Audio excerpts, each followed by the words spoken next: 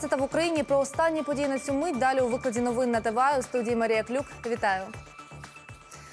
Парламентські вибори в Україні відбулися. Верховна Рада восьмого скликання обрана та легітимна, заявили у центр виборчкомі. Остаточна явка виборців 52,4%. Найактивніше голосували на заході України. Лідер Львівщина. Тут свої голоси віддали майже 70% виборців. У першій трійці також Тернопільська та Волинська області. Найнижча явка була на сході у Донецькій та Луганській областях. А у Києві на дільниці прийшли майже 56% виборців. У ЦВК нині триває підрахунок голосів. Вже опрацьовано майже 42% виборчих протоколів. Поки проходять шість партій, лідирує Народний фронт із показником 21,6%. Трохи відстає блок Петра Порошенко, у нього 21,5%. Далі об'єднання «Самопоміч» – 11%, опозиційний блок – 9,7%, радикальна партія Ляшка – майже 7,5%, Батьківщина 5,7. Свободі для подолання бар'єру поки не вистачає третини відсотка. І про останню інформацію з ЦВК нам розкаже Христина Гавриш. Христю, добрий день. Скажи, яка в тебе є інформація на цю мить? Е, Привіт, Марія. Е, Щойно закінчився буквально брифінг глави ЦВК Михайла Охендовського. Він озвучив, е, наголосив на тому, що підрахунки голосів вже на всіх дільницях завершені. Зараз дані протоколів вводяться в систему вибори. Пан Охендовський вже виголосив незадоволення деякими окружкомами, які дуже повільно вводять свої результати. Зокрема, це стосується 10 комісій. В основному вони на сході України. Зокрема, є комісія в Рубіжному, яка е, це 112 комісія, 112 округ. Вони ввели не ввели ще жодного протоколу до системи вибори. Е, Крім того, в 50-му окрузі на в Донецькій області е, ввели менше 3% протоколів. Подібна ситуація на 114-му окрузі Луганської області. Там ввели всього 5%. Е, Пан Охендовський наголосив, що не хоче називати це поки що саботажем, але якщо все ж таки так і буде, е, такі результати будуть залишатися і надалі, то можливо навіть доведеться переобрати членів комісії.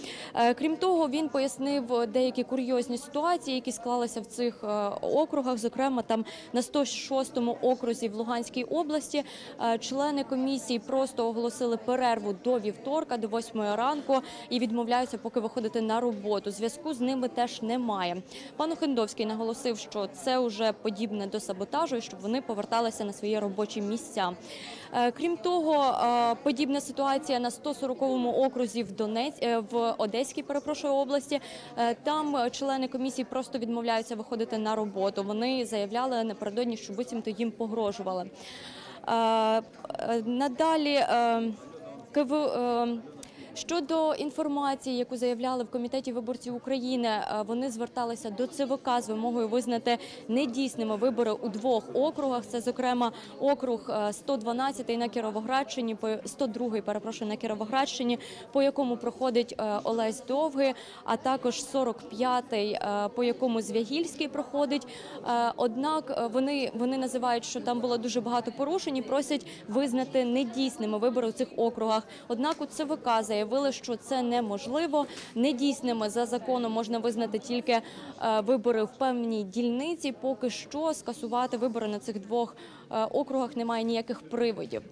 Е, Поки що це вся у мене інформація на цю хвилину. Буду залишатися тут, відстежувати інформацію і надалі повідомляти. Марія. Христю, дякую. Це була Христина Гавриш. Вона стежить за оновленням даних у ЦВК.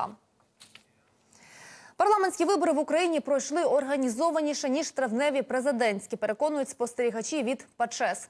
Представник Грузії Давід Саганелідзе не помітив кричущих порушень. Однак зауважив, що метод двійників у списках лишається сталою практикою в Україні. Таким чином відтягують голоси у лідируючих кандидатів.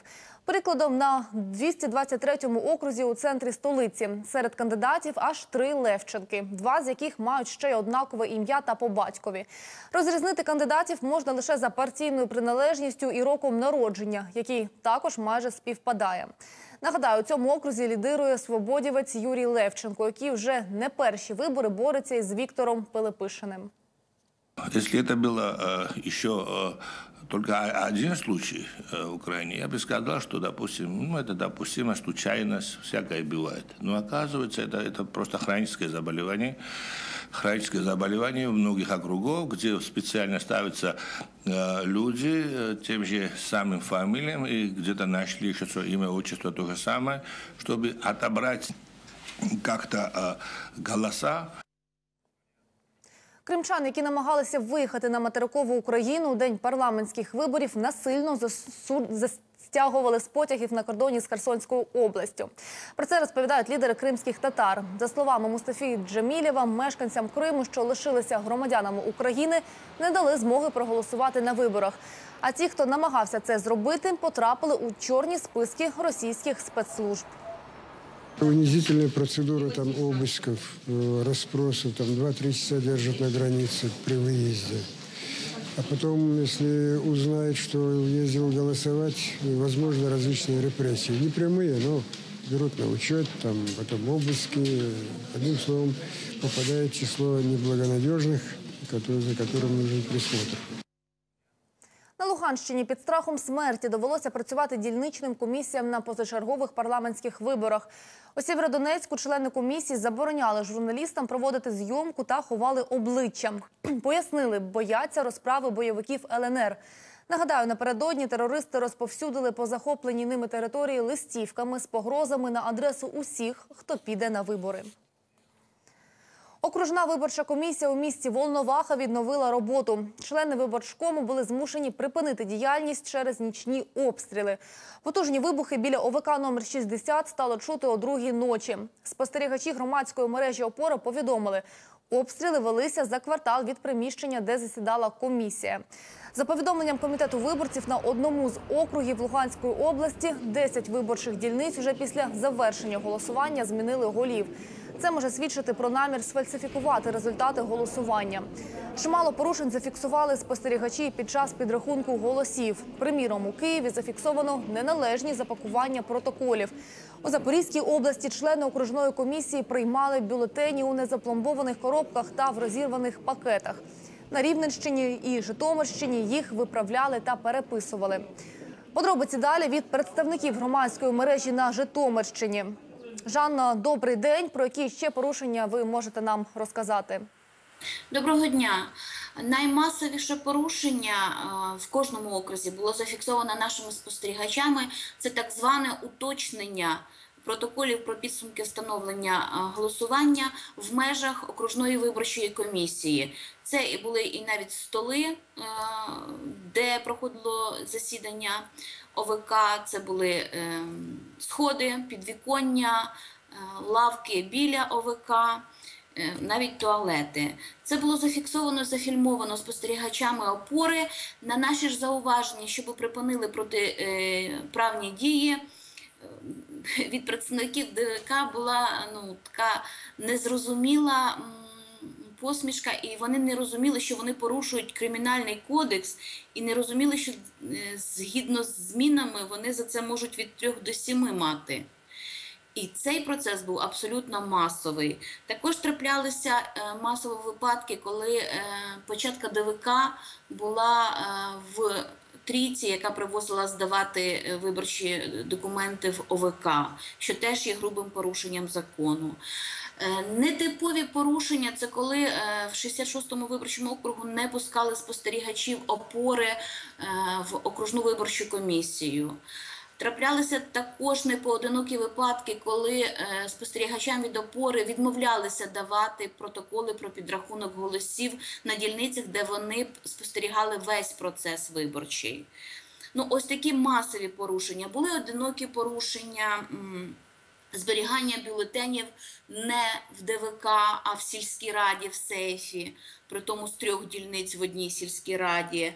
Е, Не запаковані бюлетні транспортувалися з ДВК в ОВК. Ну, ось таке. Дякую, Жанно. Це була Жанна Чмут із громадської мережі Опора. Біля Маріуполя під селищем Талаківка бойовики вранці почали обстріл позиції АТО з мінометів та градів. Хоча ніч у зоні проведення антитерористичної операції минула спокійно. Про це повідомляють у прес-центрі АТО. Напередодні ввечері бойовики кілька разів обстріляли позиції військових поблизу Нікішиного. На фугасі підірвалася бойова машина розмінування. Вона їхала у колоні з автівками, які везли продукти на блокпост поблизу Смілого. У районі Донецького аеропорту також спокійно втрат серед українських військових немає. Під час супроводу автомобільної техніки, яка доставила на 32-й блокпост, що розташований поблизу Смілова, продукти по харчуванню та питну воду, підірвалась на фугасі бойова машина розмінування. Під час вибуху ніхто з українських військовослужбовців не постраждав. Особовому складу, який несе службу на цьому блокпосту, доставлені продукти харчування, питна вода та теплі речі. Обстановка в інших районах, зокрема в Донецькому аеропорту, поблизу Маріуполя, стабільна і знаходиться під контролем сил антитерористичної операції.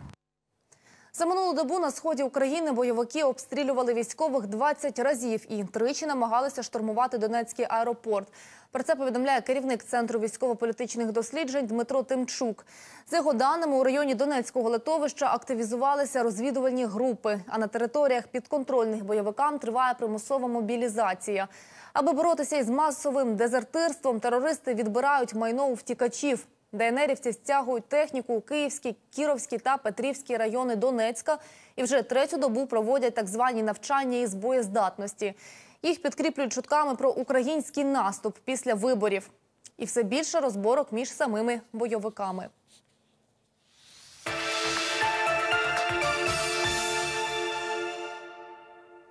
Великі сподівання на майбутніх депутатів Верховної Ради покладають не тільки в Україні. За виборами у Верховну Раду пильно стежать у багатьох країнах світу. Про очікування та сподівання заходу від українських депутатів нового скликання дивіться у наступному огляді. Результат парламентських виборів став яскравим вираженням прагнення українського народу до миру, демократії та єдності країни. Так вважає генеральний секретар Ради Європи Турбьорн Ягланд. Надалі європейці чекають змін і не словом, а ділом. Вітаю, український народ! Це перемога демократії та політики європейських реформ. Я дуже сподіваюся, що народний мандат, виданий в чесно проведених парламентських і місцевих виборах, дозволить керівництву країни продовжити національний діалог із залученням усіх зацікавлених сторін, який також включатиме конституційну реформу і децентралізацію. Результат виборів дає Україні хорошу основу для сильного уряду реформ. Тепер справа за українськими лідерами. Економіка це пріоритет. В оцінках того, що очікує від депутатів нового скликання Європа і світ в цілому, одностайні і експерти. Все-таки я думаю, что реформ все-таки ожидает международное сообщество, но не реформ как таковых, вот мы что-то делаем. А На уровне того, чтобы государственный аппарат, вот чиновничий аппарат, он был способен не валить и саботировать любое решение, а наоборот мог показать, что вообще что-то реализуемо. Если конкретно говорить о парламенте, то, наверное, там ожидают э, от э, наших избранников, которых изберут, э, какого-то выхода на новый уровень э, понимания своей ответственности. Ну, это так, в идеале, наверное, там ожидают.